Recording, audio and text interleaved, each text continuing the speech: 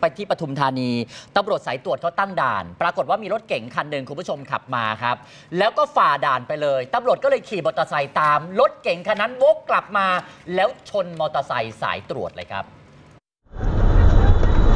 ระวังปะไม่ไม่แต่วะ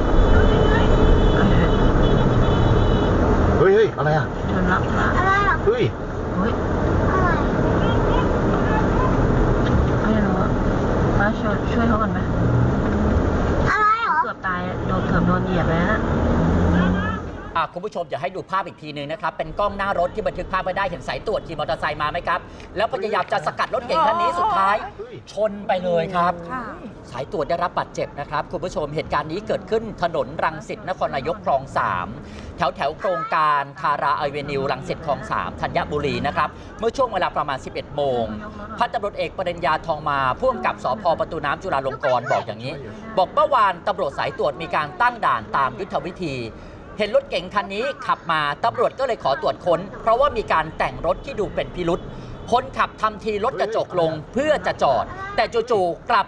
ชนฝ่าด่านหลบหนีเข้าไปในซอย ตำรวจก็เลยขี่มอเตอร์ไซค์ไล่ล่าตามนะครับ กระทั่งรถวิ่งมาถึงคลอง 3 จุดเกิดเหตุนี่แหละครับ มีการวิทยุสกัดจับ ขณะที่ตำรวจกำลังเร่งรถในเส้นทางเพื่อชะลอความเร็ว เพื่อจะจับกลุ่มคนขับรถเก๋งเบี่ยงหลบ แล้วพุ่งชนรถสายตรวจ จนรถสายตรวจล้มลงครับ หลังจากนั้นก็ขี่หนีไปเลย รถตำรวจคันอื่นพยายามที่จะไล่ล่า แต่ว่าตามไม่ทันตำรวจที่ถูกชนได้รับบาดเจ็บเล็กน้อย ส่วนมอเตอร์ไซค์สายตรวจก็ได้รับความเสียหายเล็กน้อย ยังสามารถใช้งานได้อยู่ ล่าสุดตำรวจไปตรวจสอบภาพจากกล้องวงจรปิดและกล้องหน้ารถ ปรากฏว่าทราบชื่อเจ้าของรถเก๋งคันนี้แล้วนะครับกำลังตรวจสอบและตามคนขี่หรือคนขับมาดำเนินคดี เบื้องต้นสันนิษฐานว่า คนขับมีเจตนาไม่ดี หรือมีสิ่งผิดกฎหมายอยู่ในรถ หรืออาจจะเป็นบุคคลตามหมายจับถึงดำเนินการแบบนี้ครับ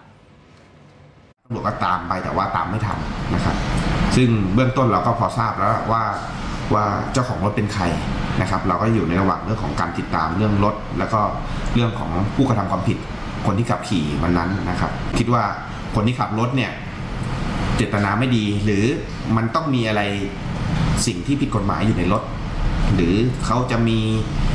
หมายจับมีอะไรอย่างเงี้ยซึ่งเราก็รอตรวจสอบอา